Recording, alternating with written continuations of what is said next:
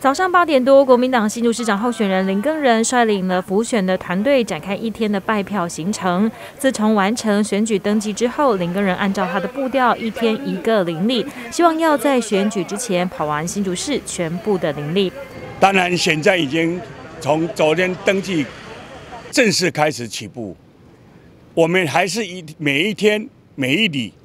一步一脚印，请求市民对我们的政策认同。也恳请所有的新竹乡亲用选票来支持我们，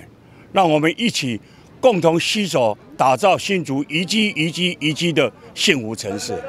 一看到路边有民众出现，补选团队马上上前招呼，林根人也忙着握手问好。最近快到了重阳节，林根人特别选定了两户长辈拜访，送上了寿桃、生日礼物以及欢唱生日快乐歌，提前陪伴长辈们欢度重阳节。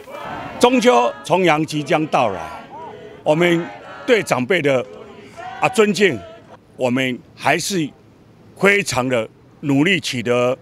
啊长辈的认同。所以林根人在这里也向所有的长辈来报告：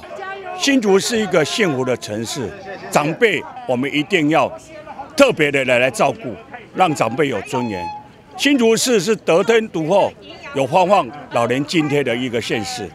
林根人当选，一定发放老年年金，而且重阳敬老津贴也要从两千块提升到三千块。我们让年轻人减压，让年轻人好好去打拼，长辈、